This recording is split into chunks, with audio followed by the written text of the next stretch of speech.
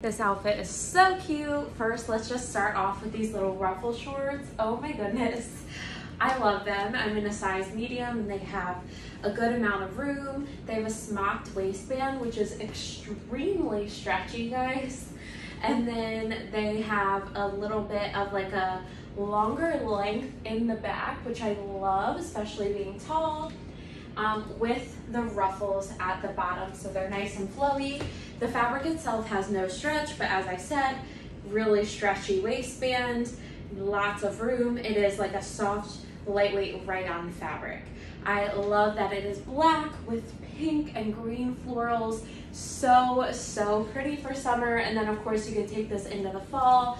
Really easy to style and uh, super comfortable.